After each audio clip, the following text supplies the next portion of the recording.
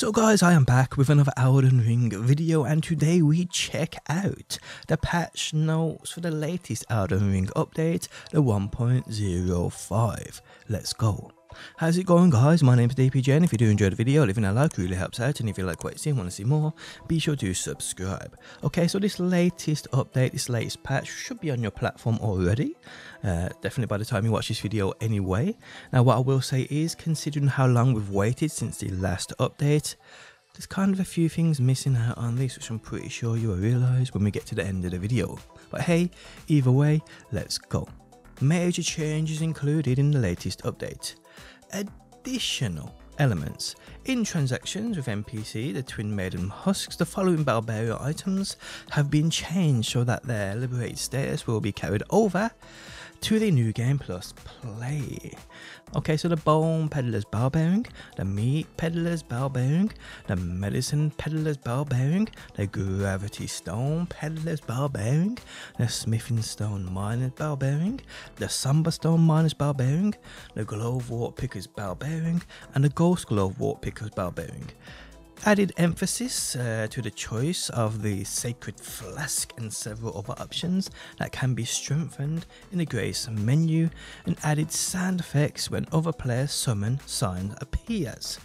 Okay, so that's alright, that's that's pretty cool. Okay, so what about bug fixes what we got? Okay, so fixed a bug where equipment could be changed from the equipment menu during the use of a skill under certain circumstances. Yes, this is a glitch, this is an exploit I covered myself, which many people took advantage of.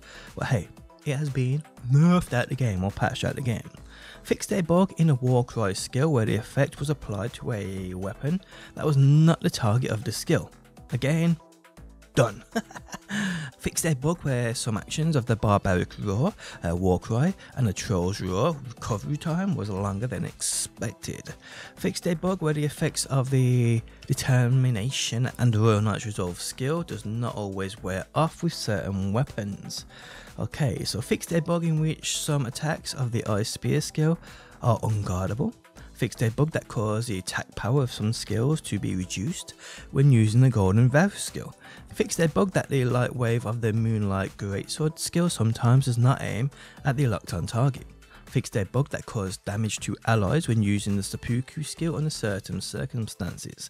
Fixed a bug that caused uh, the increase in attack power of the Seppuku skill to be higher than expected for some attack motions. Fixed a bug in which a status effect was applied when using the Hoarah Loux's Earthshaker skill. Fixed a bug where the Wave of Darkness skill would not hit the enemy with a spinning cleave. Fixed a bug that caused unintended motions to the player when switching to different sorceries and incantations while using a sorcerer incantation. Fixed a bug that the FP consumption increased when using sorceries Magma Shot and Roiling Magma when riding a horse. Fixed a bug where their claw or talisman effect was not applied when jumping with the Star Scourge Greatsword in both hands. I did not know that. Fixed a bug that the, the power of the two-handed attacks except jump attack of the weapon Golem's Halberd is different than expected fixed a bug that when using the weapon uh, pulley crossbow with the left hand while the right hand weapon was given uh, an attribute by magical item, the effect was given to the pulley crossbow as well. Again, another exploit that many people use which just made things crazy. Fixed a bug in which arrows and bolts did not match the type of a long range weapon uh, could be released in certain procedures fixed a bug in which the guard boost was uh, reduced when some weapons were strengthened to a maximum. Fixed a bug in which the attributes of weapons could be changed while the inventory had reached its maximum capacity and the Ashes of War could not be changed fixed a bug that causes the boss Malenia, goddess of rot, uh, to have lower HP under certain circumstances.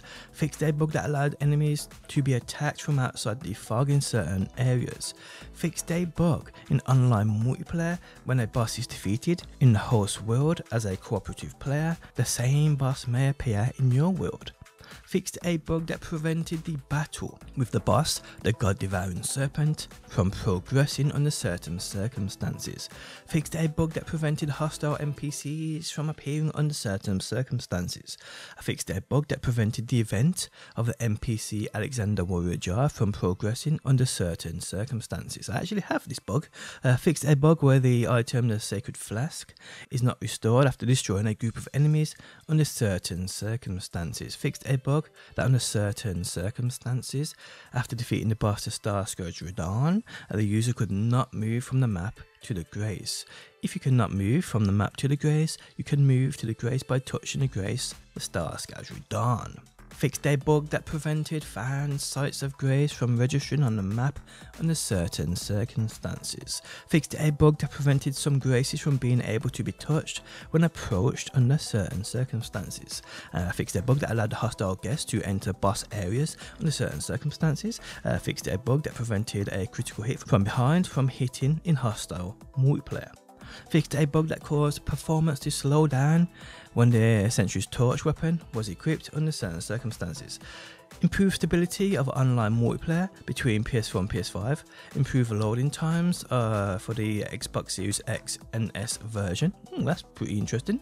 Fixed a bug that the master volume saying was not reflected in some cutscenes. Improved stability of online multiplayer. Fixed a bug that caused sounds to play differently than expected in some situations. Fixed a bug that caused a player to become inoperable and die in certain locations. Fixed a bug in which the drawing and hit detection were different than expected in some maps. Fixed a bug in some maps that allowed players to reach unexpected locations with certain procedures. Fixed some text, several other performance improvements and bug fixes. Okay, so there's a lot of bug fixes there. I'm pretty happy that they actually fix these uh, certain places people can go to and uh, use to basically AFK farm in PvP. Go to a certain place, no one can reach you there. I mean, there's no doubt going to be more that's going to be found. It's just one of those cat and mouse things.